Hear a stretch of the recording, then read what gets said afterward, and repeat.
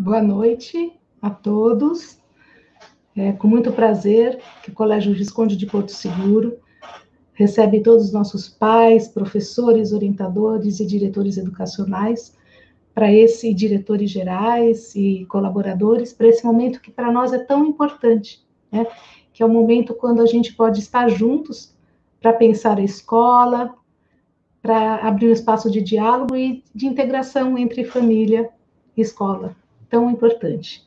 Aqui poderemos aprender e pensar juntos sobre todas as mudanças que estão acontecendo no nosso modo de viver a vida em tempos de quarentena. Nosso ciclo de lives iniciou a semana passada com o assunto saúde física e mental em tempos de Covid-19. Sabemos o quanto é importante agora cuidarmos da nossa saúde mental, física, compreender melhor o cenário que estamos vivendo, é, entender as medidas cabíveis para melhorar a nossa segurança em termos de contágio e compreender também o impacto emocional do isolamento social na vida das nossas crianças e dos nossos jovens. Hoje mudaremos o universo de abordagem. Hoje falaremos sobre o universo familiar nesses 90 dias que estamos é, em casa, sabemos o quanto todas as experiências vividas acabam repercutindo dentro do ambiente familiar. É um grande desafio e eu tenho certeza que todos nós aprendemos a aprender diariamente, estamos aprendendo a mudar rapidamente. Conseguimos levar a escola para dentro da casa, o que foi um grande desafio para todos nós, educadores e pais. E conseguimos, inclusive, levar a festa junina né, para dentro de casa, que é uma festa tão esperada por todos vocês durante todos esses anos que nós celebramos a festa juntos. E hoje nós pensamos na festa virtual. Então, no dia 27 de junho, esse ano, teremos a nossa festa virtual com quadrilha, com dança, com comidas típicas, mas sempre contando com a ajuda de vocês para que isso aconteça. Né, os cantinhos juninos em casa, as comidas típicas que vocês farão junto com seus filhos, para que a gente possa comemorar à distância, mas comemorar esse momento tão importante na nossa cultura brasileira. Então, hoje nós vamos falar né, sobre é, família, universo familiar, desafios que estão postos agora. E o que eu queria trazer, que eu acho muito importante, é que de tudo que nós estamos vivendo em casa, algo eu tenho certeza que nós levaremos para é, depois da pandemia, que é a experiência que a gente vai construir na relação com os filhos. Essas memórias afetivas, os nossas crianças, os nossos jovens levarão por toda a vida. E para isso, convido o nosso professor, psicólogo, psicoterapeuta, Tiago Tamburini, pós-graduado em Psicologia Educacional pela USP, pós-graduado em Psicologia Clínica de Crianças e Adolescentes, autor do livro Como Educar no Século XXI, professor universitário, palestrante com atuação em diferentes escolas do Brasil e consultor convidado em diferentes mídias, né, tendo contribuído para a Editora Globo, Rede Globo, é, TV Editora Abril, Portal UOL, Rede Record, SBT, Rede TV, TV Gazeta, enfim, TV Cultura, entre outros. Seja bem-vindo, Tiago, para a nossa Obrigado. Live. Boa noite, Mary. Que bom estar aqui com vocês. Bom. Muito Agora bem. Agora você vai falar um pouquinho, né, Tiago, sobre as é relações comigo? familiares na quarentena. É com Fechou. você. Deixa comigo. Muito bem, boa noite a todos. É um prazer estar aqui falando com vocês. Ainda que um desafio imenso, a gente conversava aqui nos bastidores como é difícil para alguém que está acostumado com sala de aula, com teatro, com pessoas em volta, com troca, como é difícil falar olhando para a gente mesmo, olhando para o espelho, né? Mas sem sombra de dúvida, não deixa de ser especial o momento. Eu sei que tem muitas famílias ouvindo a gente aí agora e que torceram para esse momento acontecer aí com a escola de vocês. Sei de quem se organizou para estar tá aqui agora, né? Almoçou mais, jantou mais cedo, lavou a louça mais cedo, alguns colocaram o filho para dormir mais cedo, outros estão com o filho juntos aí assistindo, né? Sei de alguns que estão aí com os filhos uh, uh, unidos nesse momento. Então, queria agradecer de verdade. Mas vamos lá. Quando, quando recebi o convite para falar sobre a questão da quarentena, da pandemia para famílias, foi lá no comecinho dessa história toda. E eu tenho que confessar para vocês que nas duas primeiras três, duas, três primeiras semanas eu neguei. Eu não queria fazer. E para mim era muito óbvio o motivo. Eu precisava primeiro me entender como sujeito. Eu precisava primeiro me entender como pai, me entender como marido, me entender como profissional numa situação que era tão atípica e tão nova. Então, nas duas primeiras três semanas ali, eu, eu falei: não, eu não sei o que, que eu vou falar disso, eu nunca vivi isso.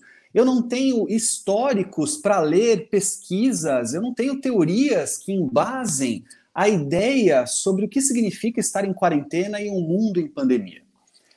Mas logo depois disso, eu pude me entender diante dessa história toda e conto isso para vocês porque boa parte do que a gente vai conversar aqui hoje tem um posicionamento meu diferente do comum. Porque quando a gente vai falar sobre as questões que envolvem o conhecimento de qualquer profissional, no meu caso da psicologia, é comum que nós possamos falar sobre aquilo que é do conhecimento. Mas hoje eu preciso, eu serei obrigado a fazer parte daquilo que falo. É como se eu estivesse falando sobre depressão deprimido. É como se eu estivesse falando sobre bipolaridade com diagnóstico de bipolaridade. Porque quando falo sobre pandemia, quarentena, é, o processo de escolarização em casa, eu vivo isso. Eu tenho uma filha que está fazendo seis anos de idade amanhã, de passagem, e vivo com ela muito daquilo que vocês estão vivendo. Então a gente vai oscilar aqui, vocês vão perceber, em momentos em que eu vou trazer aquilo que é do psicólogo, mas em momentos que eu também vou trazer aqui o que é do Tiago pai, do Tiago marido, do Tiago que também vive a quarentena junto com vocês. E foi pensando um pouco do que eu queria trocar de ideia que eu lembrei de uma palestra que eu tive ainda na faculdade. E é uma pena porque eu não lembro o nome do profissional que deu a palestra para dar o crédito para ele, mas essa fala agora não é minha. Era um profissional que vinha trazer para a semana de psicologia da faculdade uma visão de mercado de trabalho. Ele vinha falar sobre o mercado de trabalho do psicólogo. Esse profissional deu um exemplo que eu nunca mais esqueci, eu acho que ele se encaixa perfeitamente num momento de quarentena. Ele dizia o seguinte: ele falou, olha, senhores alunos universitários, prestem bem atenção. Aqui na faculdade vocês estão aprendendo o que é certo. Mas saibam que na vida, muitas vezes, a gente tem que aprender o que dá certo. Aqui na faculdade vocês estão aprendendo o que é certo. Mas na vida, a gente precisa aprender o que dá certo. E ele, preocupado com que a gente pudesse entender isso como o famoso jeitinho, o que não era a intenção dele, ele deu um exemplo. E esse exemplo ficou na minha cabeça até hoje. Ele disse assim: ele falou, olha, não estou falando do jeitinho. Eu explico de uma outra forma o que eu quero dizer entre o certo e o dar certo. Imagine que você more numa casa e essa casa, numa determinada situação de uma semana muito chuvosa, começa a ter uma goteira na sala. Quem já morou em casa já viu essa sensação, né? Às vezes cai goteira pelo lustre. E aí imagine que vocês vivendo essa situação, chamam um técnico, o técnico chega na sua casa, ele faz uma avaliação do telhado, e depois de avaliar o telhado, ele vira para você e diz o seguinte: fala assim, olha, aqui é o seguinte, o certo é a gente trocar o telhado inteiro. Você vai virar para ele e vai falar assim: presta atenção, faz uma semana que não para de chover, como é que a gente troca o telhado chovendo? E mais do que isso, eu não tenho orçamento, eu não me programei para fazer um, uma troca de um telhado assim da noite para o dia. Existe alguma outra coisa que possa ser feita? E aí pode ser que ele te diga o seguinte: olha, tem três telhas que estão quebradas. Se nós trocarmos essas três telhas, vai parar de chover, vai parar de gotejar dentro da sua casa. Mas você, inteligente, pode virar para ele e perguntar: mas espera, se eu fizer isso, corre o risco do telhado cair na minha cabeça? Porque você disse que o certo é trocar tudo. E se ele te disser assim: não, é porque se você não trocar tudo, no próximo período de chuvas, outras telhas terão a tendência de quebrar e você vai ter que me chamar aqui de novo. Então, o melhor era trocar tudo, mas se a gente trocar algumas telhas agora, a gente resolve o problema para este momento. E aí pode ser que você pense bem e fale: bom, se eu trocar essas telhas agora, eu tenho tempo de esperar o período da estiagem, eu tenho tempo de levantar orçamento e me preparar para o próximo período de chuvas trocando o telhado todo. E aí você vai dizer para ele: bom, então vamos fazer o que dá certo. Esse foi o exemplo que o palestrante deu que eu nunca mais esqueci. E eu conto eles para vocês aqui porque desde que começou a quarentena, eu tenho focado no que dá certo.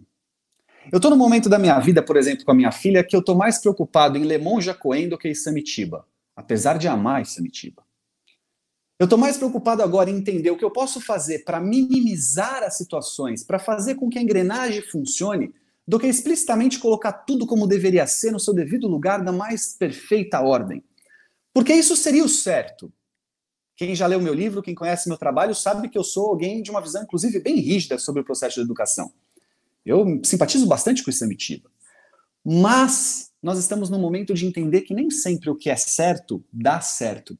E num período tão chuvoso, tão chuvoso, tão chuvoso, querer trocar o telhado é no mínimo uma insanidade. A gente precisa começar a pensar se agora é na hora de trocar algumas telhas. E tudo que eu vou falar com vocês a partir de agora leve em consideração isso, o que dá certo, o que eu entendo que dá certo. Eu tenho que fazer aqui uma meia-culpa, às vezes vejo os profissionais da minha área, da área da psicologia, indo para a internet, para as redes sociais e tal, e às vezes eles trazem uma lista tão grande de soluções que eu falo, ora, ora, quem conseguir primeiro que vem da fórmula, porque me parece tão difícil atingir esse lugar de excelência que alguns propõem. Vejamos, olha, se a gente falar, por exemplo, de conflitos, nessa quarentena certamente há uma tendência enorme de na sua família nós identificarmos um aumento de conflitos, não é mesmo? E você sabe por que isso acontece? Porque aumentou convivência. Simples assim. Convivência e conflitos são coexistentes. Não existe convivência sem conflito. Aliás, existe, mas ela é perigosa. Toda existência, toda relação de uma ou com uma entre duas pessoas ou mais que não estabelece momentos em que o conflito é presente, é uma relação que pode estar frágil, que ou não é capaz de suportar o conflito e, portanto, nega esse conflito, ou esconde os conflitos que existem como uma tendência de achar que isso é melhor, mas não. Conflito e convivência são parte coexistente de uma relação e, portanto, se aumentou convivência, aumentou conflito. Isso não significa que a sua família não se ama, não se gosta, não se quer, ou que você educou mal seu filho, ou que você não ama o seu marido, ou que o seu marido não te ama. Não, vocês aumentaram convivência, conflitos aumentam. E é importante que a gente olhe para isso. É fundamental que a gente entenda que os conflitos presentes permitem a gente ressignificar porque essa é a importância do conflito, já que ele é inevitável. E lógico, eu estou aqui colocando como uma questão conflitos dentro de um limite óbvio de saudável, de sanidade. Eu não vou colocar aqui como conflitos bem-vindos agressões físicas ou verbais. Claro que não. Eu estou falando daqueles conflitos do dia a dia, aqueles conflitos que às vezes criam desentendimentos, mas que são importantes para a gente ressignificar a relação. Eu dou um exemplo pessoal. Eu falei que eu ia fazer isso, lá vem o primeiro. Pensa comigo, olha, eu tenho uma filha fazendo seis anos, e quando eu descobri que ela teria aula online, eu logo me preparei para isso. E eu que fico com ela de manhã, e as aulas são de manhã, então eu me aqueci, ah, eu preparei o ambiente, eu coloquei a melhor luz, o computador no melhor lugar, organizei o material dela sobre a mesa. Eu pensei, eu sou psicólogo, eu sou pai, eu sou pai raiz, eu desde que ela é pequenininha eu troco fralda, eu dou de comida, eu faço comida, eu levo para passear, da aula aqui é, nós vamos aula. E ela é inteligente, ela é brilhante, ela é dinâmica, ela é, ela é maravilhosa, ela é minha filha. Então é o seguinte: é, é aula online que tem que dar? Bora dar aula online. Eu não precisei da primeira semana para descobrir que não era bem assim que as coisas iam acontecer. E no final da primeira semana eu me vi questionando o que estava acontecendo ali de forma enérgica, dando bronca, jogando para cima dela culpa, jogando para cima dela irritabilidade, porque eu dizia para ela assim: filha, pelo amor de Deus, presta atenção nesse computador. Mas que não é para hora de brincar com o cachorro, não é hora de olhar para o passarinho, deixa o micro-ondas capitular, não, não é só comida. Poxa, estão todos seus amigos prestando atenção e você não. Que, que porcaria é? Mas como é que você quer aprender se você não olha para o computador, se você não se dedica? As suas professoras estão lá, se dedicam.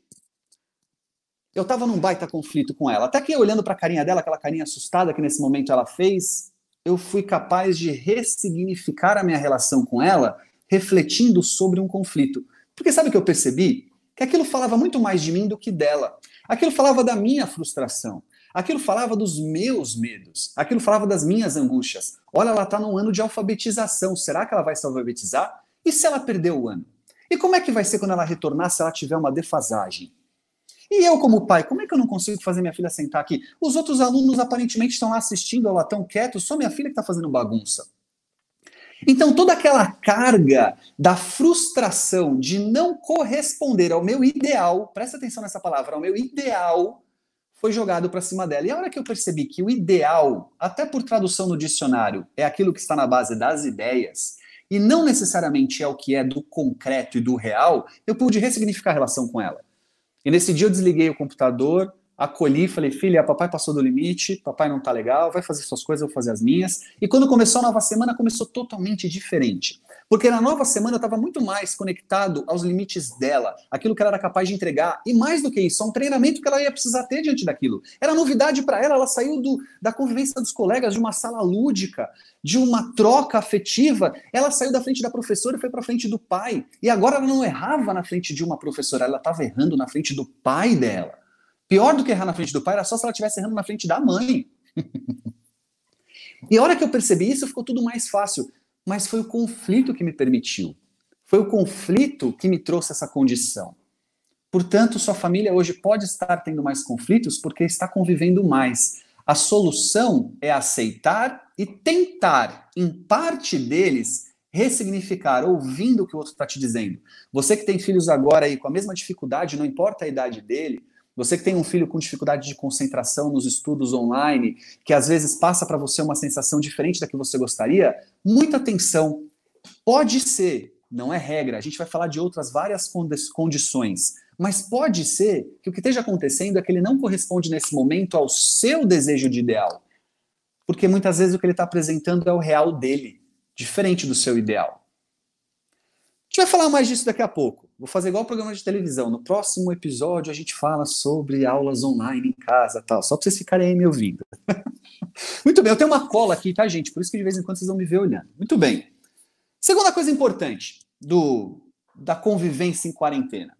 Além da convivência trazer mais conflitos, convivência traz maior conhecimento daquele com que convivemos. É, você sabe disso. Eu estou só relembrando. Quanto mais convivemos com alguém, mais conhecemos esse alguém. Lembra da época de namoro, tal? De repente você está nessa situação agora, conhecendo alguém. E a gente, no início de namoro, a gente conhece alguém, sei lá, vocês mulheres aí me ouvindo, conhecem um cara, Aí, no primeiro jantar com ele, ele, nossa, tem vocabulário, tem cultura, fala dos últimos livros que ele leu. Ele estava com um perfume delicioso, bem alinhado, uma cordial, abriu a porta do carro para você entrar e para você sair. Foi uma coisa, você chegou em casa e falou: Meu Deus, até que enfim achei um cara bacana. Você continuou se relacionando com ele, pode ter acontecido de você descobrir que aquele perfume, na verdade, estava para vencer, que ele usa raramente porque dá rinite. Que todos aqueles livros que ele falou que leu foram os únicos três livros da vida que ele leu, e que para um jantar parecia muito mesmo. E que aquela história de abrir e fechar a porta se torna, na verdade, um medo de assalto e outros afins, e tipo, entra logo aí que a gente precisa sair. E de repente você começa a perceber que aquele vocabulário todo. E tudo isso aconteceu por quê? Porque você conviveu mais. Mas pode ser que você conhecesse mesmo aquele cara que, além do que você imaginava, trazia tudo isso. E o que traria essa, esse conhecimento? A convivência. Mas sabe o que acontece? Você passou a conhecer mais o seu filho. E você passou a conhecer mais o seu filho, sabe como? O seu filho aluno. Pois é. Você conhecia o seu filho estudante. Seu filho estudante você conhecia. Quando ele fazia trabalho escolar, quando ele estudava para uma prova, quando ele fazia lição de casa, Nesse momento, você conhecia o seu filho estudante, o seu filho estudante. Mas o seu filho aluno você conheceu agora. O seu filho aluno na dinâmica escolar é novidade. E eu deixo de te falar uma coisa, não deveríamos. Tem coisas que a gente não deveria compartilhar da vida dos filhos. Não deveríamos. É igual eles, coisas nossas. Por exemplo, o filho não deve compartilhar da intimidade de um casal quando a porta do quarto está fechada. Ele não deve. Se ele compartilhar da intimidade desse casal quando a porta está fechada, ele se desorganiza. É, é, é, angustiante, assustador, talvez. A mesma coisa, pai. A gente não deveria compartilhar da vida escolar do filho, vendo ele como aluno. Sabe por quê? Porque isso gera muita angústia. Muita angústia. E gera angústia de todos os lados, tá, gente? Porque tem aqueles que têm filhos organizados, é, focados, filhos que, por natureza, têm, têm o desejo de aprender, que gostam de estudar.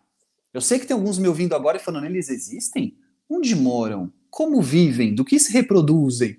É, não, mas eles existem, eles existem. Mas até esses pais agora estão com dificuldades porque estão vendo o filho ansioso, porque não consegue entregar todas as tarefas, porque estão vendo o filho ansioso porque estão cansado, com dor de cabeça, dor nos olhos. Então não tem escapatória. Seja você o pai daquele aluno que está conseguindo assistir aula, ou seja aquele que está com dificuldade de assistir aula, você se angustiou. E deixa eu te falar uma coisa: muito provavelmente parte das suas angústias é porque você está conhecendo algo que sempre foi, só que agora você conhece. Eu vou dar um outro exemplo pessoal. Segundo já. Vou dar vários hoje. Segundo exemplo pessoal. Eis que mando um e-mail para a professora da minha filha. Professora, estou preocupado, porque na atividade aqui que ela tinha que fazer, escrever, ler e tal, ela não está conseguindo. Ela não está avançando na alfabetização. E mandei a foto da atividade que era mesmo para mandar. E a professora retornou dizendo: não, mas está tudo bem, é isso é esperado mesmo. E eu retornei para a professora, não, mas professora, atividade de sem ajuda, leia e escreva tal. E ela, ela, você viu que ela inverteu letra, você viu que ela trocou letra, colocou letra espelhada, a senhora percebeu? E ela retornou o e-mail, mas nessa idade, para o momento dela, é isso que se espera. então tá bom, professora. Segue o jogo. O que eu descobri com isso é que parte do que me angustiava era simplesmente o fato de eu não ser professor, de eu não ter experiência de sala de aula e de eu não fazer a menor ideia do que uma criança de 6 anos de idade deve ter, deve ter como conhecimento de alfabetização. E se você adaptar para o seu filho na idade que ele está agora, eu não sei, porque cada um de vocês que me ouve tem um filho numa idade, é muito provável que parte do que te angustia tenha a ver com isso. Quer ver um outro exemplo? Você tem um filho um pouquinho mais velho, você viu que entre uma aula e outra ele acabou a atividade e de repente ele pegou o celular aqui para responder uma mensagem. Ou ele levantou para ir pegar uma fruta na geladeira ou um snacks no armário.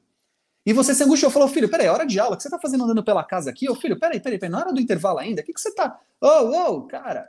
E aí você se angustia achando que ele não está focado, ou que ele não quer fazer. Que... E que, na real, dentro de uma sala de aula é a mesma dinâmica. Eu acabei a atividade, é comum que eu dê aquela cutucada no meu amigo, que eu vire aqui para trás, e você sabe o que o professor vai fazer? O professor vai falar: Ô, oh, Fulano, Thiago, presta atenção, você acabou, mas seu colega não. Thiago, você acabou, começa então o próximo exercício da página 20. Ô, Fulano, essa é a dinâmica de uma sala de aula. Sala de aula tem movimento, sala de aula tem barulho, é normal e o professor está lá para organizar. Mas no seu quarto, não.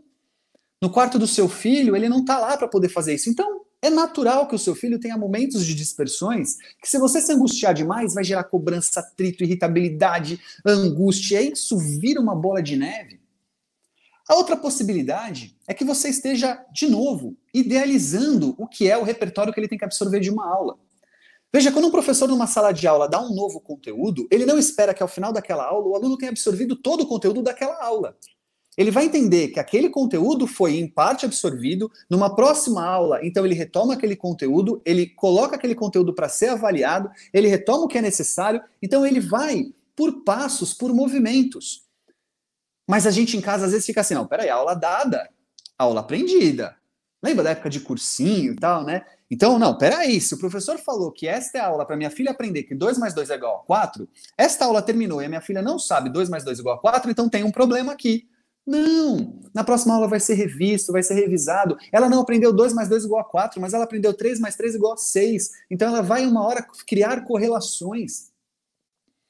E a nossa angústia vem por conhecermos filhos, alunos, como professores que não somos. Nós somos pais e em casa eles são filhos. Bagunçou, trocou tudo, deu ruim. E dentro dessa ideia, o que eu trago para vocês quando a gente pensa sobre as descobertas que a quarentena traz, é que a gente precisa suavizar as relações na crença de que boa parte daquilo que nos angustia tem a ver com desconhecimento sobre aquilo que a gente está fazendo, porque é tudo muito novo. Mas não é só isso, né? Outra coisa muito importante é o quanto os filhos estão exigindo de nós autonomia. Você sabe que eu estou adorando isso? Uma das maiores críticas que a gente ouve do mercado de trabalho sobre jovens adultos no mercado de trabalho, ali na época de estágio, trainee, uma das coisas que a gente mais ouve do mercado é: esses jovens não têm autonomia, falta proatividade, eles, se você não mandar fazer, eles não fazem, eles confundem pai e mãe com chefe. E muito disso porque a gente vive hoje uma condição com eles em que a gente está o tempo inteiro tomando as decisões por eles. A gente está o tempo inteiro decidindo tudo por eles. Se ele vai, se ele não vai, com quem ele vai, como ele não vai, se ele pegou Uber, se ele não pegou Uber, a gente é que pede Uber, a gente controla o Uber pelo aplicativo, a gente está o tempo inteiro assim. Então a gente está trazendo para essa nova geração de jovens uma tendência a viver acomodado diante das decisões do outro, o que me traz pouca autonomia. Porque a condição da autonomia é que eu tome decisões para aprender com as consequências da decisão e com isso desenvolvo autonomia, a boa autonomia.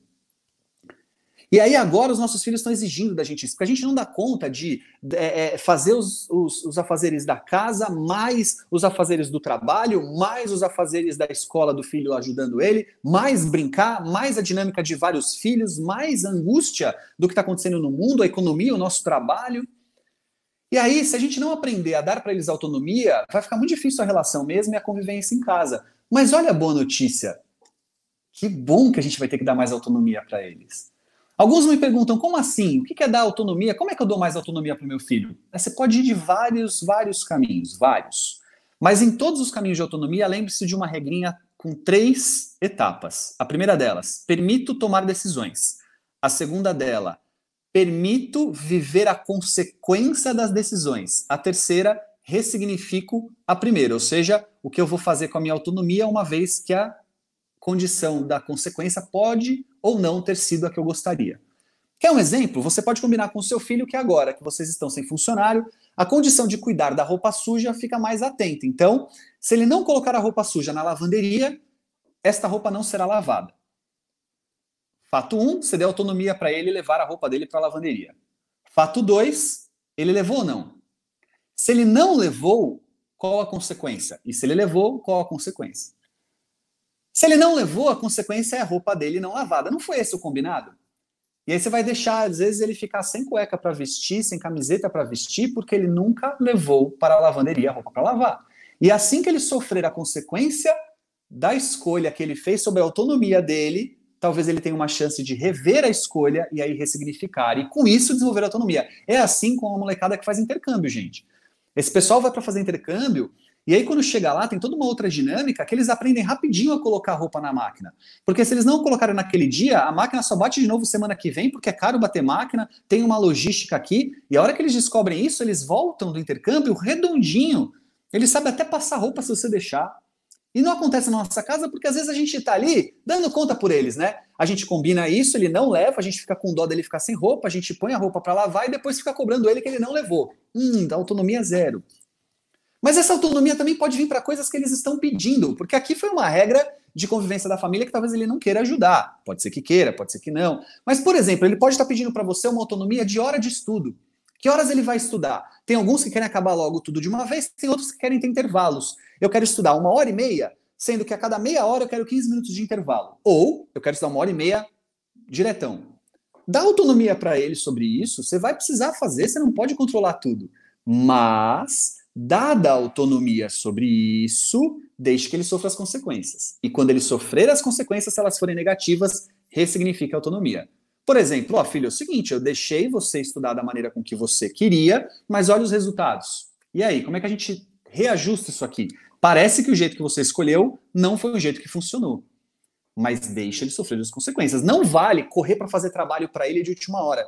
Eu já vi família que se reúne, o irmão mais velho, a mãe, o pai, para cada um deles pegar um trabalho para dar tempo de entregar na data que a escola pediu. Aí não vale.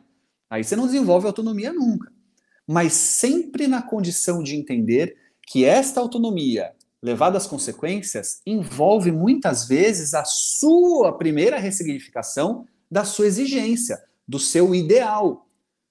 É normal numa escola que um aluno às vezes faça um trabalho e não entregue uma tarefa, um, um, exercício que não ficou completo, ou é normal que ele esqueça uma atividade, é normal que ele faça mais ou menos uma outra atividade, e aí a professora é aquela responsável que fala, oh, não tá legal desse jeito, vamos, vamos refazer isso aqui, olha, conto com sua tarefa de uma outra forma da próxima vez, e vida que segue. Mas como está na sua casa, como você está naquela aquela exigência de ideal, de padrão, de meu filho tem que ser um baita estudante, eu tenho que ser um baita pai nesse processo todo, uma baita mãe nesse processo todo, você se desorganiza e não percebe que muitas vezes o feedback da autonomia está funcionando pra caramba.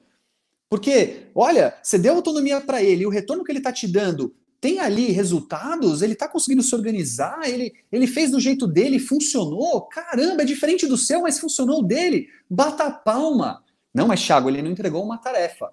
Ora, mas essa é a dinâmica de uma sala de aula, de uma escola, de um processo de aluno. E a escola está lá para ajudar nisso, para te mandar um e-mail, para criar uma comunicação, para dizer o que não está legal, o que não está legal. Mas não para por aí, né? Ih, tem muita coisa. Eu, eu, eu tenho um tempo aqui, eu vou tomar cuidado. Mas é o seguinte, ó. Aceite o ócio, o tédio, e aceite como algo bem-vindo. Pode ser que tenha momentos que seu filho olhe para você e fale assim: mãe, não aguento, não tenho mais nada para fazer. E você vai virar para ele e falar assim: é, filho, é assim.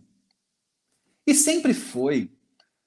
Não é de hoje que a gente é, convive com o tédio. É que nos últimos 20 anos ele foi sendo tirado da nossa condição. Muitas atividades diárias, aulas com mais tempo ao longo da tarde, o videogame, o computador, o celular. Então a gente começou a não ter mais ócio.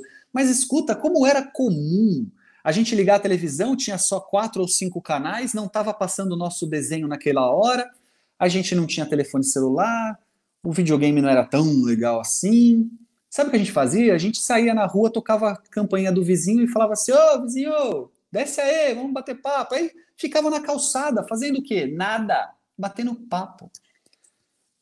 Talvez hoje você tenha que ver seu filho mais nessa condição de ócio, de tédio, e tudo bem. Tem pais que falam assim para mim, Thiago, mas eu me dá um nervoso, eu vejo ele lá jogado no sofá. Mas pera, mas já acabou as aulas? Ele já fez o que era para fazer, ele, é, então deixa jogado no sofá, é o momento disso, vai acabar, mais cedo ou mais tarde acaba, tá tudo bem, tá tudo bem. E as regras? No meio disso, Thiago, afrouxo, regras, crio novas? Claro. Se nós mudamos o contexto, as regras também mudam. É normal. Aliás, qual é o problema de mudar regras quando elas são combinadas em comum acordo? Você vai jogar banco imobiliário hoje. Mas já tá tarde, a live acabou por volta das 9 horas. Se você jogar banco imobiliário raiz, você vai terminar 4 da manhã. Então você vai ressignificar as regras enquanto falar, olha, vamos fazer aqui, ó, essa regra muda, aquela ali, para ser mais ágil, para ser mais rápido. Tudo bem. Nem é que ninguém roubou no jogo ou voltou atrás. Você ressignificou diante de um novo contexto. O horário do jogo tá muito tarde, se a gente quiser jogar vai ser assim. Tudo bem ressignificar a regra com seu filho. Mais um exemplo pessoal? Então, a minha filha raramente pegava no iPad durante a semana. Aliás, o iPad geralmente saía com a gente de casa, que era para não ter nem problema. Saía com a gente de casa, não, não tinha iPad em casa, não ia assistir iPad. Ora, mas agora minha filha está ficando às vezes no iPad, porque as regras mudaram diante do contexto. Às vezes eu estou sozinho com ela, eu tenho que me arrumar, tomar banho para poder vir para o consultório. Eu estou atendendo online do consultório, porque só eu entro aqui. E a mãe dela ainda não chegou também do consultório, porque é psicóloga. E aí, nesse momento, bom, nesse momento, filha, assiste um tablet aqui que o papai precisa se arrumar. Não acontecia isso antes. Agora acontece. E tudo bem. Tudo bem. Problema nenhum. E sabe por que problema nenhum? Primeiro, porque vai acabar. Segundo, porque aquele iPad tem um controle de acesso com canais bloqueados, onde ela só assiste aquilo que é permitido a ela, e porque é por um período.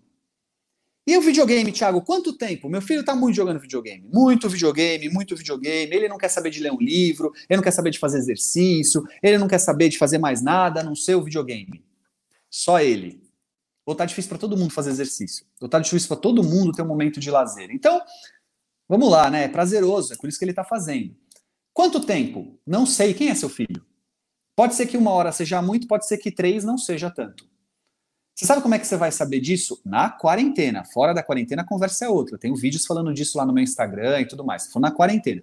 Sabe como é que você vai saber? Com o feedback que ele te dá. Se ele estiver assistindo uma hora de, de tablet ou de videogame, seja lá o que for, mas não estiver conectado com mais nada, não está fazendo as tarefas da casa combinadas, não está assistindo às aulas como deveria, não está entregando as tarefas da escola, então uma hora está muito. Mas se todo o resto está em ordem, se ele está com humor em dia, se ele está tendo uma boa noite de sono, se a alimentação dele está ok, bom, então duas, três horas de tablet. Não vale trocar a noite pelo dia todo dia. Não vale ficar quatro, cinco horas no tablet todo dia. Não, aí é o limite do bom senso. Mas você vai saber entre uma hora ou três horas por dia o seu filho quanto pode com o feedback que ele te dá o que ele te anunciar como tudo bem. E quando a gente sair da quarentena, voltar a uma nova rotina, a gente retoma as novas regras. Olha, a gente vai jogar banco imobiliário e são duas horas da tarde. Duas horas da tarde a gente pode jogar banco imobiliário com as regras corretas, com as regras como elas têm que ser. Bora que agora são duas da tarde. Mas como são nove, você vai jogar banco imobiliário às nove, ressignifica essas regras. De novo, menos Isamitiba e mais Monja Coen. Eu acho que você me entende o que eu quero dizer quando eu falo isso. Muito bem. Tiago, como é que eu melhoro a convivência? Você está falando um monte de coisa aí, quarentena, família e tal, mas como é que eu faço para melhorar a convivência com os meus filhos? Como é que eu faço para aproximar ou para diminuir tudo isso tal? Tem algumas condições aí, claro. Você vai ter mais conflito, vai precisar ressignificar ele, faz parte do jogo, mas se a gente quiser minimizar o potencial da convivência versus conflito, uma das regras muito legais para você que é pai agora e me ouve é aprender a reconhecer que o que ele gosta é legal para ele. No primeiro momento, só isso. Reconhecer que o que ele gosta é legal para ele. Bônus, bônus, se você aprender a gostar também, mas não, não é obrigado. Mas às vezes você está vendo ele fazer uma atividade e a nossa tendência de crítica é tão grande, pai e mãe é tão autocrítico, mas tão crítico com o filho também, né?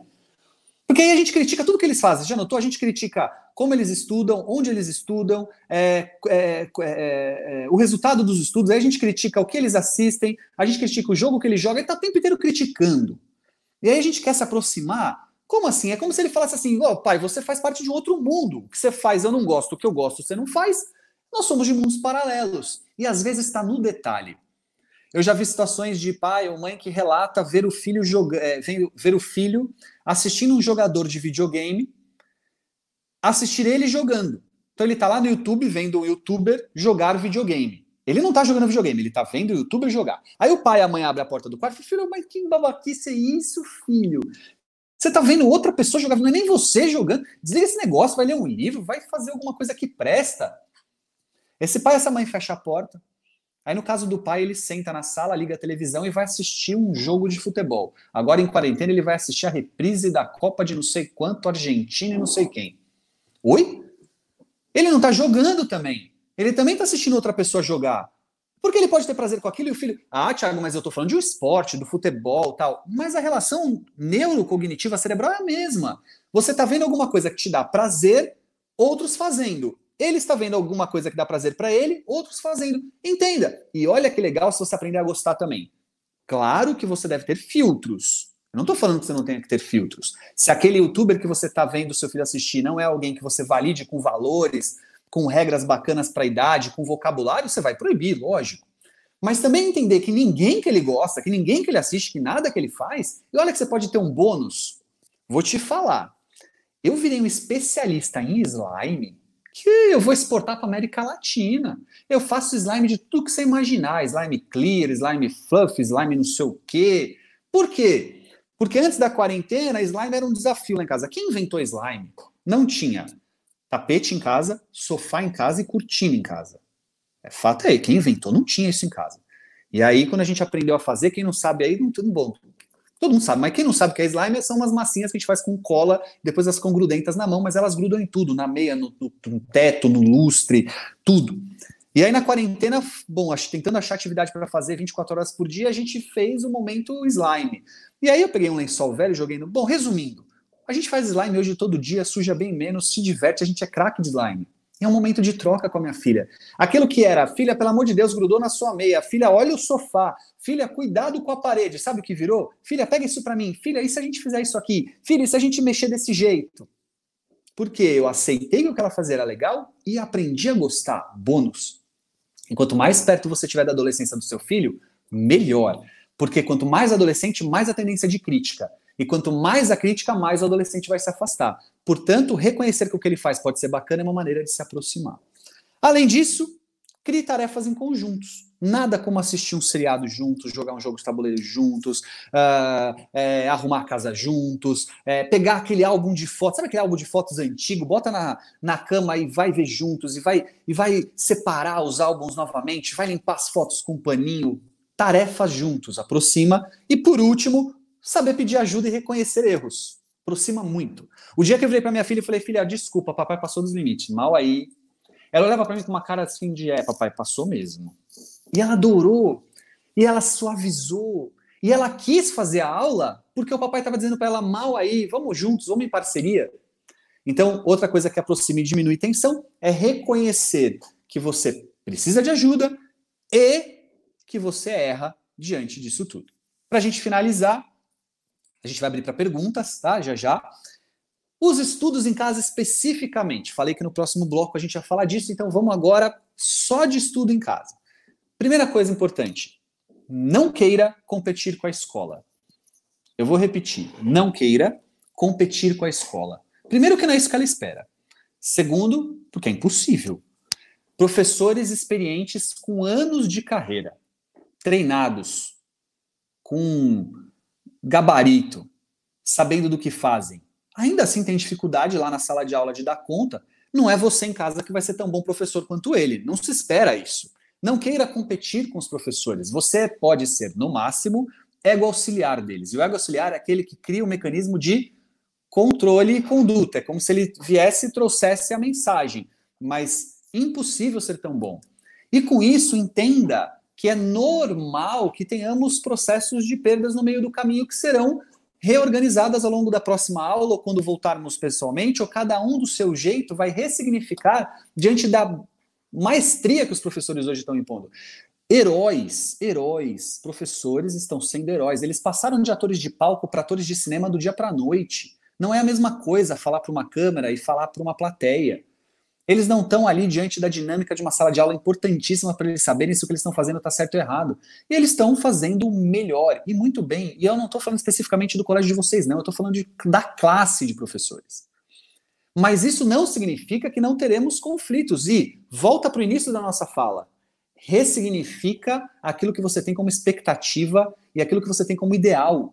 Não é hora disso, não é hora de. Até porque nem na prática escolar lá esse ideal existe. Não é assim que funciona. Cada um no aprendizado do seu tempo. Uns aprendem a andar com um ano, outros aprendem a andar com um ano e meio, outros com dois. Uns aprendem a falar com um, outros com dois. E na sala de aula, uns aprendem é, equação de segundo grau aqui, outros aprendem ali. E faz parte essa dinâmica. O professor está acostumado e a gente tem que aceitar ela, mas reconhecendo que a gente não vai ser tão bom quanto os professores. Não tente competir com os professores. Eles querem que você seja um ego auxiliar.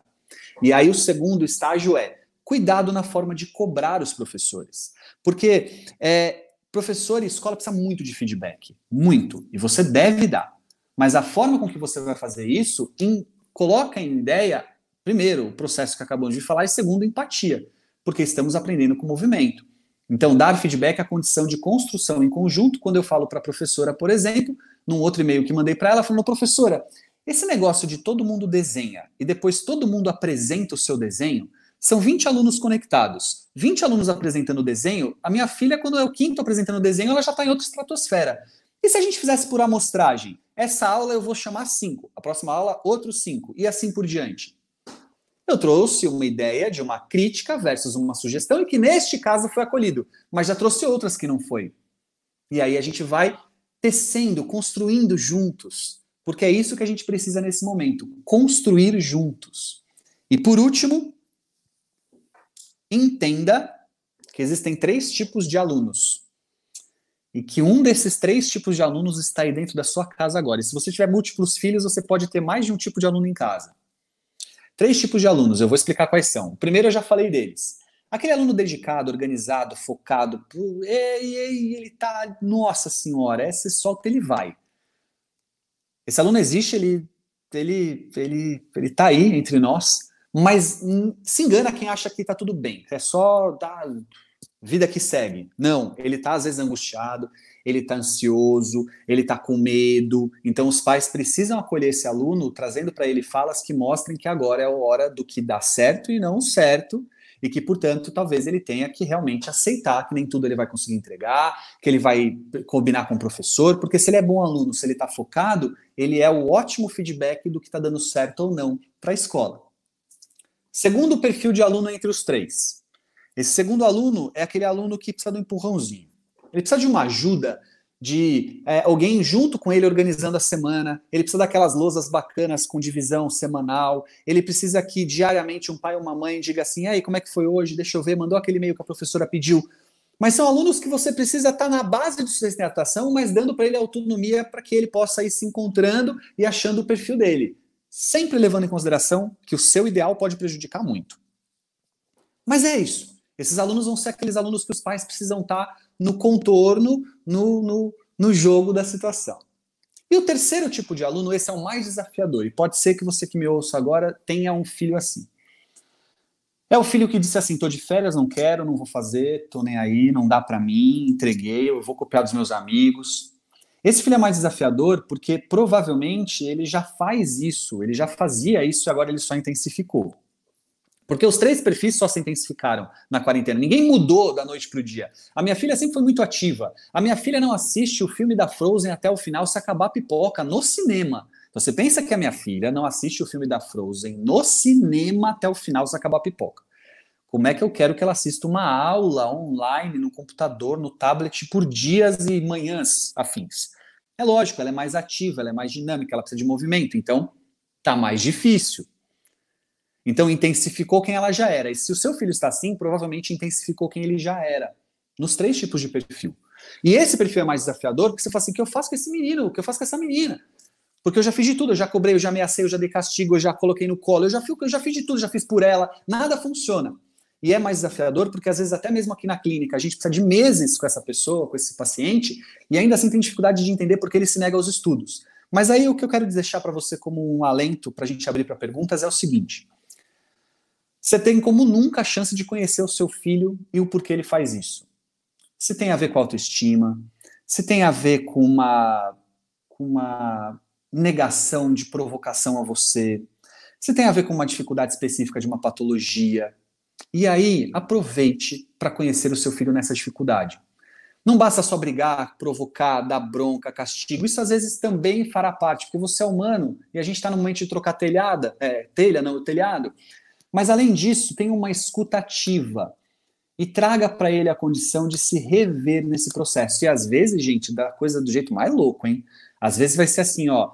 Ô, Tiago, cara, uma atividade hoje, vai, você vai assistir uma aula hoje, uma, uma. E quando ele assistir uma, você vai dizer para ele assim: e aí, como é que foi? Pô, que delícia, hein? Nossa, como eu tô dormindo mais leve. É você. Você viu o professor te dando parabéns? Você viu o retorno que você teve, que bacana da escola? É claro, ele tinha outras 10 para assistir, ele fez só uma. Você poderia dar bronca das outras 10, mas ele fez uma. E amanhã, se ele fizer duas, ele aumentou em 100%, ele dobrou a produtividade dele e você vai focar que ele faça pequenas entregas até que ele entenda que as entregas são benéficas, bem-vindas, tal. Estou falando só de uma possibilidade. Eu poderia fazer uma live de mais duas horas falando de outras 300. Não é o caso aqui. O caso aqui é dizer para você que se você tem um filho agora que está nessas condições, primeiro, peça ajuda da escola se ainda não pediu. E segundo, saiba que talvez você morra tentando, mas tente até morrer entender por que ele está se negando ao processo de escolarização dele. Falei um monte, né?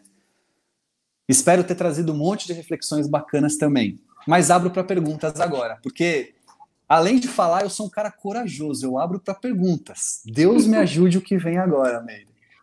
E aí? eu queria te parabenizar pela fala, porque você fala de um lugar da intimidade, né? Tento. E a intimidade a gente só constrói com a convivência. Eu acho que o maior presente que nós temos agora nessa quarentena é ter a oportunidade de conhecer os nossos filhos, né? E conhecer os três tipos de alunos, e tem mais um aluno que a gente não chegou a falar, que é o aluno adulto. Ah, sim. Encontra com esse filho e que aí entra em choque, porque o filho não é o aluno que ele foi, né? Uhum. Perfeito. Essa relação de espelho, né? Que quando está na escola, quem entra em contato com esse aluno é o educador que já está preparado para administrar essa diversidade, né? De... E projeta, né, Meire? É isso que eu falo. Aí entra Sim. um lugar de ideal. Primeiro que você doura a sua pílula, né? Você sempre acha que você foi muito melhor ou muito mais legal. A gente sempre fala do passado assim, eu tive infância, eu é que tive adolescência, né? Aí a gente Sim. dá aquela dourada na pílula e entra nesse lugar de ideal. Perfeito, legal, gostei dessa reflexão. E aí eu queria trazer uma mensagem do Eric Fromm, que é muito bonita, eu acho que tem a ver com a sua fala, né? Que o amor brota do cuidado e quem cuida se torna mais potente. Então, os pais estão no momento de empoderamento. Uhum. É o que eu percebo quando a gente dialoga com esses pais, né, junto com a equipe de orientação educacional, o quanto que esses pais hoje sabem do lugar que eles é, ocupam na vida dessas crianças e desses adolescentes, né? Perfeito. As perguntas surgiram e eu achei muito interessante porque a primeira pergunta fala assim, ó, Tiago, parece que o aprendizado será muito mais das competências emocionais do que o próprio conteúdo escolar, não é mesmo? Eu diria que também. Eu diria que também. Eu acho que é, a gente incluiu, e eu adoro essa ideia, porque É, nós sempre falamos muito, principalmente na condição de psicólogo, sobre as competências socioemocionais, mas isso é uma fala recente, vocês já notaram isso? Há 20 anos ninguém ia falar de dar aula sobre isso nas escolas, porque o sócio era aprendido no movimento. Só que a facilidade do dia a dia, ou como a gente tem hoje o consumo às nossas mãos, a dinâmica das famílias que está cada vez mais corrida, fez a gente perder um pouco a condição de família de educar para o sócio. E aí, às vezes, a gente tem que educar isso em sala de aula, com metodologia, com não sei o quê. Mas agora, na quarentena, hein? Que chance! Quer ver um exemplo? Eu gosto de usar o exemplo da figurinha, Meire. O exemplo da figurinha é assim, ó. O filho está pedindo figurinha para completar o álbum. Aí, no meu caso, é o álbum da LOL lá em casa. Aí, se fosse antes da quarentena, eu, eu não quero dar. Porque já dei muito essa semana, figurinha é isso, tem que esperar para completar, tem que trocar com os amigos, eu não quero dar. Mas antes da quarentena, minha filha podia me encher tanta paciência, tanta minha paciência, tanta minha paciência, que eu ia falar, gente, cadê a, é figurinha que você quer? Cadê a banca de jornal? E aí eu ia vacilar, porque eu não ia deixar ela aprender a, a, se frustrar, eu não ia deixar ela entender que ela é capaz de lidar com a espera, eu ia tornar ela mais ansiosa, ia vacilar. Mas sabe o que acontece? A banca de jornal tá fechada, meio. Eu fui comprar figurinha, demorou 15 dias para chegar lá em casa.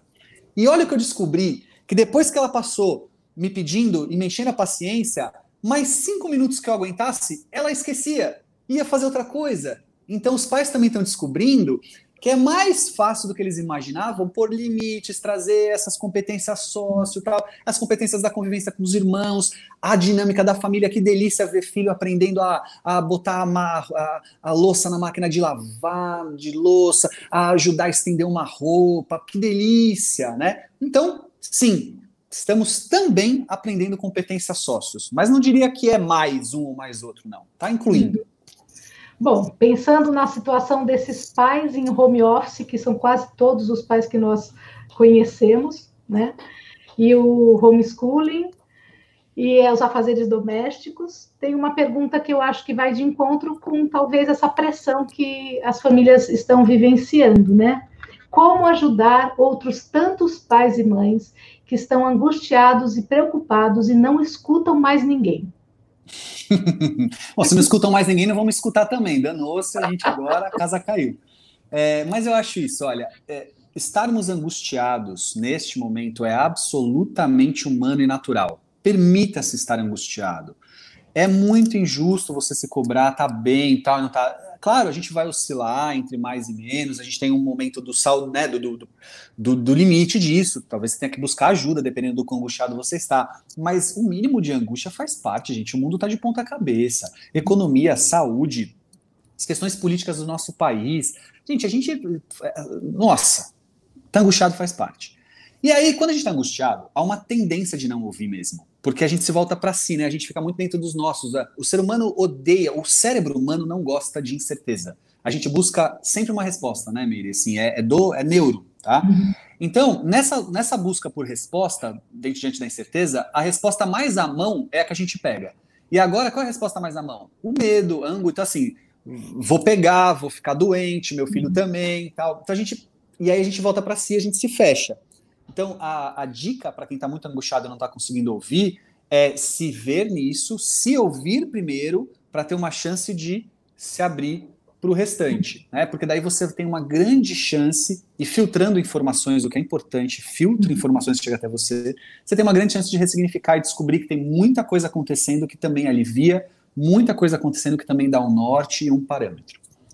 É, eu gosto muito da ideia do autocuidado, né? É um momento que todos nós precisamos dessa pausa, né? Lógico. Respirar e se revisitar para a gente conseguir se restabelecer.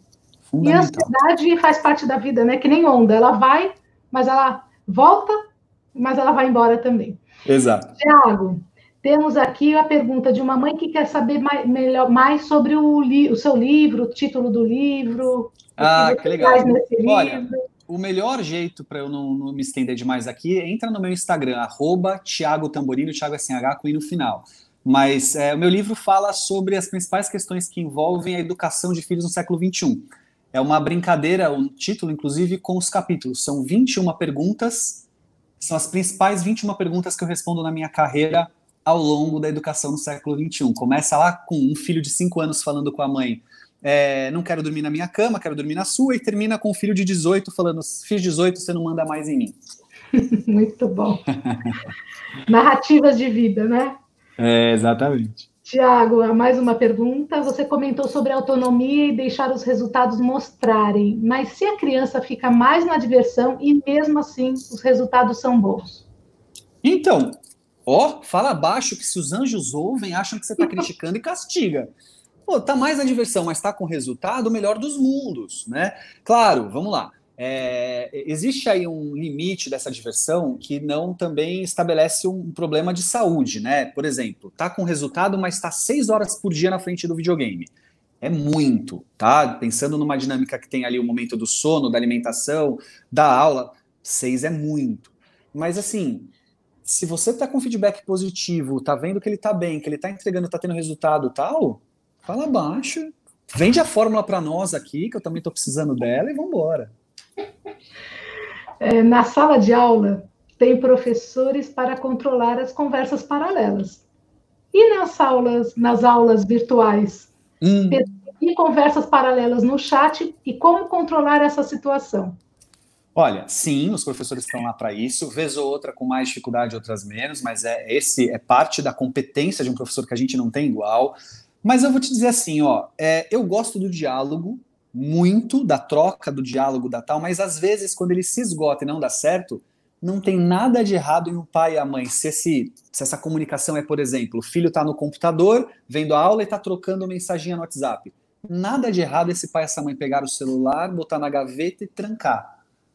Nada de errado. Prefiro o diálogo, a troca, sempre, sempre. Mas se passar do limite, é o que um professor faz em sala de aula às vezes também. Esse professor também vai atuar diante da lei e vai impor uma castração que diz: você está agora diante de um limite que eu não posso deixar passar. Então, às vezes, os pais têm que atuar mesmo, achando que. Sabe, é, é papo para uma outra live, viu, Meire? Mas Sim. sem me estender demais, é, pai e mãe, é, numa boa intenção, querem, às vezes, convencer os filhos do melhor. Acho ótimo. Mas nem sempre o filho tem maturidade ou o prazer permite que ele se convença. Então, por exemplo, ah, eu quero que meu filho entenda a importância de não ficar na frente da tela do celular ou do computador ou do tablet uma hora antes de dormir, porque isso faz mal para o sono dele, não, não secreta melatonina, nananana. eu queria muito que ele entendesse isso. Ou se o seu filho é o jovem que eu conheço, na sua esmagadora maioria, ele vai olhar para você e falar assim, você tá louca, mãe, eu durmo de boa, que, melatonina, que então, talvez, mesmo com muito diálogo, mesmo com muita troca, você vá dialogar, você vai impor para ele vai dizer: olha, mas como você ainda não tem maturidade para desligar uma hora antes, uma hora antes eu quero no meu colo este tablet, esse computador ou esse videogame. Então, cuidado, pai e mãe, porque às vezes, na boa intenção de ter uma relação legal, você estabelece uma dinâmica de cobrança, de briga, de bronca. Aí tem pai e mãe que uma e meia da manhã, duas horas da manhã, levanta para ir ao toalete, aí pega no celular e vê que o filho está online no WhatsApp. Aí ele via o WhatsApp e fala assim: desliga isso aí, moleque, vai dormir. Tá tudo muito louco nessa hora, porque se, se perdeu toda uma logística. Se ele tá duas da manhã no WhatsApp e não consegue desligar, o papel de um pai ou de uma mãe é ir lá e impor um limite a ele de quem diz eu não tenho maturidade para sozinho lidar com isso. Vai gerar briga, vai chegar aqui na minha, no meu consultório falando que a mãe é louca, que ela tem que fazer terapia, que ela não sei o quê. Mas vai desligar o celular. Conversas paralelas tem algo parecido. É que às vezes os chats permitem a conversa paralela. Essa é mais difícil. Sim. Porque aí ele está lá no chat fazendo conversa paralela, e aí a professora tira do chat, ele volta para o chat, tira do chat. Aí é mais complicado, mas ainda assim tem esse caminho do senta aqui que o que está acontecendo não está legal. Sim. Como ajudar alunos do ensino médio que estão cansados e se cobram muito? Pois é, eu acho que é verdade, eles estão cansados, é, principalmente aqueles que se cobram muito, mas eu, assim, olha, tem um caminho que é o seguinte: o primeiro, você e ele ressignificar o ideal. Porque às vezes vocês estão numa busca do ideal danado. Tudo que vê tem que aprender, tudo que aprendeu tem que ser 10, tudo que. Tu, tu, tu. Então a escola dá, por exemplo, um leque de 0 a 10, e você está sempre querendo 10, 10, 10, 10, 10, 10, 10, mas a escola sabe que é o leque que ela vai administrar para esse aluno se enquadrar dentro dessa possibilidade.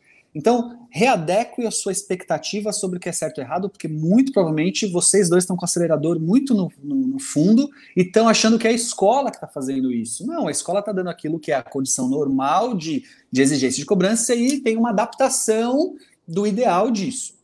Dois, feito isso, não custa nada de vez em quando trazer um senso de realidade, principalmente se seu filho for adolescente, tá? Seu filho já entrou na adolescência, eu gosto de falar para adolescente assim, ó, nunca foi fácil. Nunca foi fácil. Pensa a adolescência dos seus bisavós, de repente, num período de guerra, depois num período de recessão, depois num período de ditadura, depois nunca foi fácil ser adolescente, ser jovem tal. E não é agora mesmo. Então, a diferença entre aqueles que conseguem e aqueles que não conseguem é que os que conseguem assumem que é difícil mesmo e vão.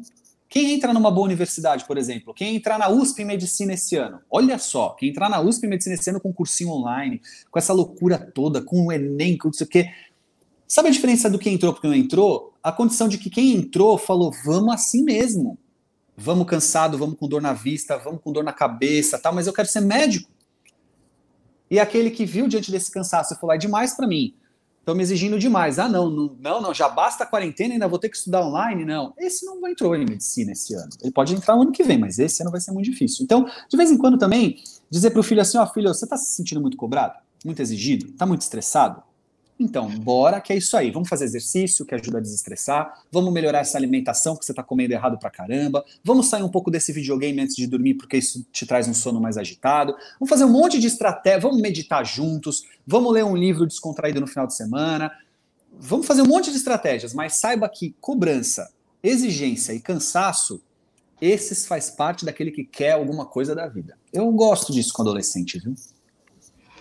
É, pergunta como ajudar os mais quietinhos, aqueles que não demonstram muito o que está acontecendo com eles. Hum. Nossa, a gente tem tempo? Hoje a gente pode ir o que até meia-noite? Temos mais três perguntas.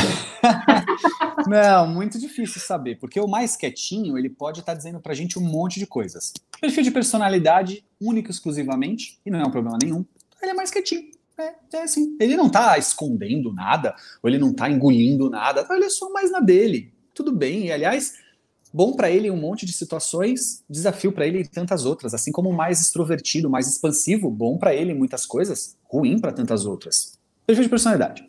Pode ser que esse quietinho esteja dando um recado. Aí o leque de opções Tá quietinho porque tá deprimido, tá quietinho porque tá muito ansioso, tá quietinho porque tá com medo, tá quietinho porque tem muita vergonha diante do erro, não quer errar, não quer falhar, muito obsessivo, exigente, cobrança, então ele prefere ficar na dele, tá engole emoção porque tem medo de expressar e achar que aí, Meire, nossa, o céu é o limite. E, de novo, é mais um caso que às vezes a gente faz aqui meses de terapia para chegar em um pontinho dessa história. Não consigo ser é, numa resposta tão preciso assim. Sim. Avaliações, notas em tempo de pandemia. É válido ou deveria ser readequado? Não sei. Aí é a escola que tem que responder. Eu tenho uma, tenho uma dúvida, por isso falo não sei mas eu acho que algum tipo de avaliação precisa existir, porque a escola precisa ter um feedback, a escola precisa ter um retorno, tá? Mas eu não sou mais especializado como psicólogo para falar disso. Aí é quem, quem manda e fala o que funciona ou não, o que precisa ou não, o que é certo ou não é a escola. Até porque existem legislações por trás disso, tá, gente? Então, é, não é o caso da nossa live, né, Meire? Mas assim, tem coisas aí que os pais às vezes desconsideram enquanto legislação, e que nem sempre é uma escolha da escola. É, você pode falar um pouquinho sobre ética e flexibilidade de regras? Nossa, boa. é, então, olha, eu acho que a gente pode colocar as duas dentro do mesmo pacote, mas ao mesmo tempo tomar um cuidado, porque a gente pode estar tá problematizando demais uma situação, tá? Então, eu vou falar o seguinte, ó, vamos pensar assim, flexibilização de regras e valores, vamos pôr nesse conjunto, tá? Então, toda regra que deva ser repensada, flexibilizada, ou nova, imposta, né? Talvez também tem novas regras a serem impostas, elas precisam estar em comum acordo com os valores que a família carrega. Senão, aí não vai ser legal. Então, por exemplo, se tem alguma situação ética ou de valores, que aquela regra que eu vou estabelecer nova, ou aquela flexibilização de regra vai bater nisso, então aí não é o caso, aí não é bacana. Então, a flexibilização de regras precisa estar adequada aos valores que a família traz, incluindo a ética no meio disso. Não só ética, como também a responsabilidade das coisas que faz, das escolhas que faz, né, gente? Eu vou te dar um exemplo de novo, pessoal. Uh, entre esse, essa semana trágica de aulas que foram por água abaixo até que eu percebesse que eu estava cobrando a minha filha errado, e a semana que estamos agora, passados 90 dias, A aula da minha filha hoje, ela assistiu no tablet, dentro de uma cabana que ela fez no meio da sala. Se o Samitiba me ouve falar isso, ele dá três voltas no tubo. Mas deixa eu te falar uma coisa, ela estava motivada, prestando atenção, trocando com a professora, e a hora de fazer a tarefa, a hora que ela precisava copiar e fazer, ela saiu, sentou na mesa da sala e fez. E eu não cobrei, não dei bronca, tal. Ó. Mas, mas, num primeiro momento, isso me dava. Quando que eu imaginei que eu ia deixar minha filha assistindo aula dentro da cabana, sentada no chão? Mas espera aí, agora é hora de trocar algumas telhas e funcionou, funcionou. Olha que legal, funcionou. Mas eu não deixaria a minha filha atrapalhar a dinâmica da aula dentro da cabana. Então, se eu tô ali de olho e eu tô vendo que ela tá atrapalhando no chat, eu tô vendo que ela tá entrando em hora errada, eu tô vendo que ela tá querendo mostrar as bonecas da cabana em vez de fazer a aula, aí não, aí é uma flexibilização que esbarrou nos meus valores enquanto alguém que quer respeitar o grupo, que quer respeitar o, to o todo. Então aí ela sairia da cabana e ou ela ia desligar aquela aula e eu ia ter que assumir a responsabilidade disso, ou ela ia sentar na mesa e fazer de um jeito direito. Entende o que eu quero chamar de flexibilização versus os valores? É disso que a gente está falando. Mas não conta para ninguém, tá? Meire, segredo nosso. Combinado. Tá? Só eu e você. Só nós dois aqui. a criança que nem abre a câmera de vergonha. Como ajudar?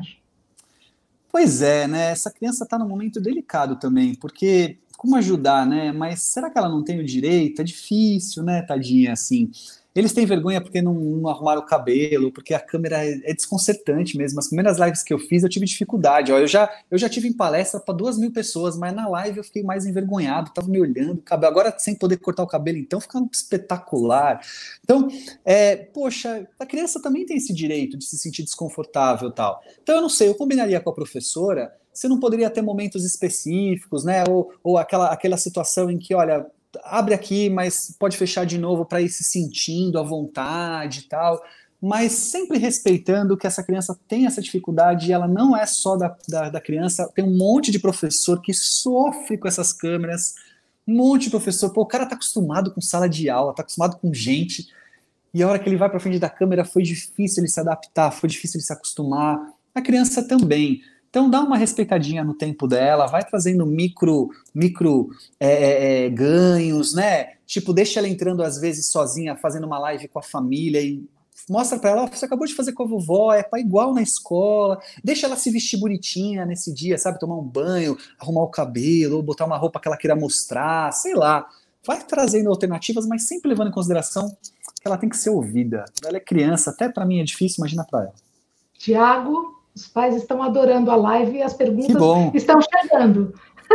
Como fica a falta de contato pessoal presencial? E os namoros dos adolescentes? Hum, não fica, né?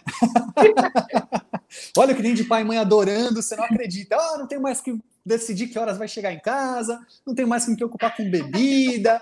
Nossa, deixa a quarentena até os 24, dá para eles ficarem em casa até os 24 anos? Não fica, né? Mas deixa eu falar para vocês uma coisa, olha. A primeira é, a gente não sabe quando, mas vai acabar. E vai acabar muito antes de trazer prejuízos uh, severos ou, ou permanentes à vida. Então, quando acabar, essas relações vão se reorganizar e se ressignificar. Lembrando que não significa acabar voltar para a escola, porque quando voltar, ainda vai ter um distanciamento social, a gente ainda vai ter várias regras que as escolas vão se enxergar e entender como melhores. Então, querendo dizer assim, quando voltar ao normal, poder voltar a se abraçar, poder voltar, né, tal, as crianças e adolescentes são altamente adaptativos, eles vão voltar a fazer isso, isso vai virar história. Eles vão contar para os filhos que em 2021, 2022, eles passaram por isso e foi assim que aconteceu, né? Dourando a pílula, eles vão falar com muito mais intensidade. E quando a gente contar isso no futuro, meus netos, você não sabe a história que eu tenho programada para os meus netos. Mas, eu assim, sugiro, é boa... Thiago, que eles procurem os avós agora, porque os avós ah. podem dar algumas boas dicas. Não Namoro podem? antiga, não Cata, é? ótimo, ótimo. Mas é, é, a boa notícia é que não vai, certamente, estou aqui, óbvio, usando minha bola de cristal, mas arrisco em dizer isso, vai ficar gravado, não vai perdurar por um tempo suficiente para ter uma, uma, um dano eterno e severo para a vida, né? Alguns vão sofrer um pouco mais, outros menos. É verdade que alguns estão mais ansiosos, outros mais fóbicos, outros mais depressivos, né? Eu nunca tive tanta procura no consultório como agora, mas a verdade é que, é, de maneira geral, uh, vão se ressignificar e se reorganizar. E, de novo, competência socioemocional. O seu filho adolescente está aprendendo que, mesmo querendo namorar, ele não pode às vezes era o que você tinha que fazer e não conseguia, ó. Seu filho adolescente está aprendendo que ele quer muito ir na balada, mas não pode. Às vezes era o que você tinha que fazer e não conseguia, agora a vida está fazendo por vocês e está ajudando ele a entender que ele não morre. Nossa, foi 90 dias que seu filho não vai para uma balada, 90 dias que seu filho não, não, não fica com uma menina ou com menina, ai, tá vivo, tá bem, tá conversando, pode ser que esteja até me ouvindo agora e tá tudo bem. Então vai ser assim quando retornar aos pouquinhos e vida que segue. A única coisa que eu tenho medo é de tentar tirar o atraso, meio. Assim, sabe? Tipo, Sim. agora que eu voltei, agora eu quero ir para balada, agora eu quero não sei o quê, é. agora eu quero beijar todo mundo. Mas uh, o que me segura um pouco nesse receio é que não vai voltar. Bum, a gente vai não vai assim, gradual, assim, tipo. Vai ser gradual. Vai ser gradual. Então isso é me, diferente me de uma um... situação de guerra, isso. que todo mundo volta junto e aí tem toda essa. Isso, isso me deixa um pouco menos preocupado. Mas, de novo, é papel dos pais. Aí quem vai ter que pôr esse limite aí são os pais. Eu tenho um podcast, Meri, com a Jovem Pan, que Sim. chama Manual do Filho, tá? É só entrar nas principais plataformas aí, é, iTunes, é, iTunes, é, Spotify, a própria próprio site da Jovem Pan, né? E o tema dessa semana eu falo sobre e agora quando retornar, né? Você está preparado, pai e mãe? E uma das coisas que eu digo lá é isso, é que o pai e a mãe vai ter que exercer o lugar de, de autoridade para que nesse retorno ele aconteça como ele tem que acontecer, uhum.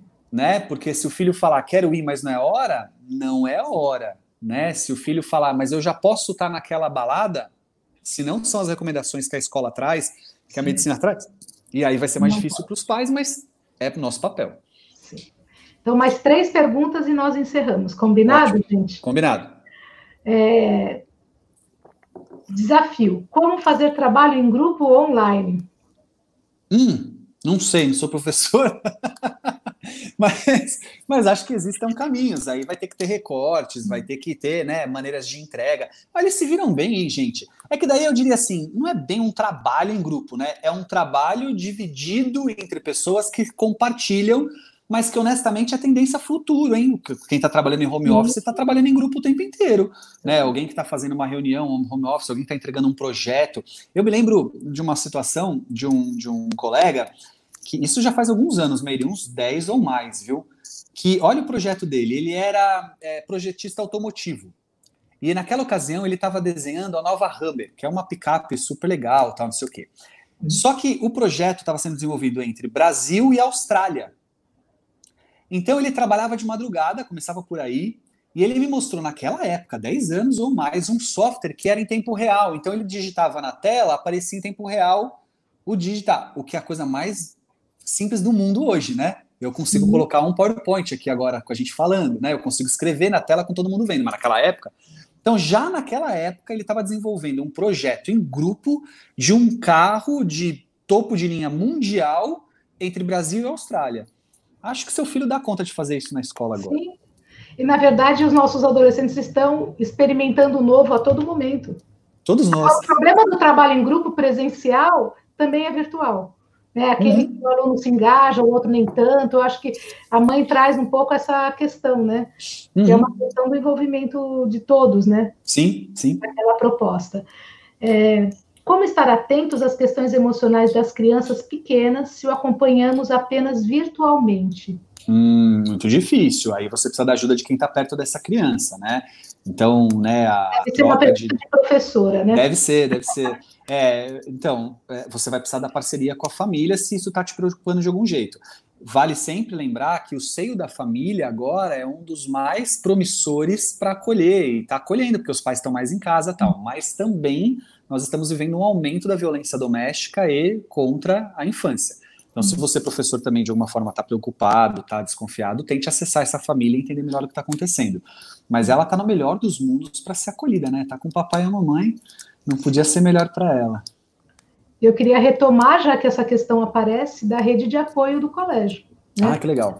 Que é importante que as famílias possam contar né, com, a, com um diálogo com as orientadoras educacionais, nas reuniões com os professores, para que a gente possa junto pensar em relação a essa criança que não aparece na câmera nunca, essa uhum. criança que de fato parece que não está bem. Então a gente tem que intensificar agora, eu acho que é um momento muito oportuno da, de aproximação da família com a escola para que a gente possa pensar juntos como ajudar essa uhum. criança ou esse adolescente, tá bom? Então, uhum. contem com a equipe de, dos orientadores educacionais para que a gente possa fazer um trabalho aí de parceria para manter essa saúde mental das crianças e dos adolescentes até o retorno às aulas. E para que a escola também, e para que a escola também diante disso também crie um conhecimento sobre o que está dando certo ou não, o que ela também está propondo e está indo, sem um feedback, sem uma troca, também não vai acontecer. Então não basta às vezes também só criticar ou ir para aquele grupo famoso de grupo de WhatsApp ali falando que absurdo isso, que absurdo aquilo, e não levar isso para a escola e trocar com a escola e confiar a escola que você escolheu para o seu filho se você não confiar nela, você vai confiar em quem, né? E nada impede de que críticas, sugestões estão falando. Pô, eu não conversei com você sobre isso, Meli, então estou falando pessoal aqui. Claro, mas, eu tenho é certeza que uma escola da competência de vocês está absolutamente preparado também para poder ouvir, ressignificar, explicar os porquês, né? E aí entender, eu, você não vê? Eu não estou meio atordoada, tipo, achando que a minha filha estava totalmente fora da média, a professora falou, calma, ela poderia estar tá melhor, mas ela está dentro da média, relaxa aí. E está todo mundo aprendendo junto, né, gente? Então, isso que é importante. É um momento atípico e que todos aprendem. Exatamente. Agora a gente vai fechar a nossa live e eu queria só convidá-los para as próximas lives. Aliás, com os alunos, não tem semana que vem com os alunos? Né? Semana que vem, né? Semana que vem, o Tiago vai conversar com os alunos do ensino médio sobre o projeto de vida em tempos de a quarentena. Né? Eu acho que vai ser um papo muito bacana para que esses alunos possam Rezem redimensionar, é, redimensionar os seus projetos aí, né, Tiago? E teremos também o Léo Freiman para conversar grande com amigo. grande amigo, a semana que vem, na quarta-feira, ele falará sobre as tendências e competências para a vida no futuro. Novos tempos, novas aprendizagens. Teremos amanhã também uma live com a equipe de tecnologia educacional para quem gosta de programação e Scratch super legal amanhã à noite. E sabemos que, os, que o ciclo de lives veio para ficar. Eu também estou aprendendo a falar comigo mesmo, né? Porque eu, eu me vejo no espelho. Que bom que o Thiago está aqui do meu lado agora, né, Thiago? Ótimo. Para onde olhar. Eu adoro abraçar, ver os pais, encontrar nos auditórios, mas a gente vem se reinventando, né? E, então, eu agradeço a presença de todos vocês. Divulguem os nossos, as nossas próximas lives. E Olha, quarta-feira com o Léo, vou te falar, hein? muito do que sei aprendi com ele, é um mestre, um amigo querido. E, ó, não perde não, que essa aí é top. Imperdível. É muito obrigada, gente, pela presença de todos vocês e até a próxima. Valeu. Valeu, tchau, tchau.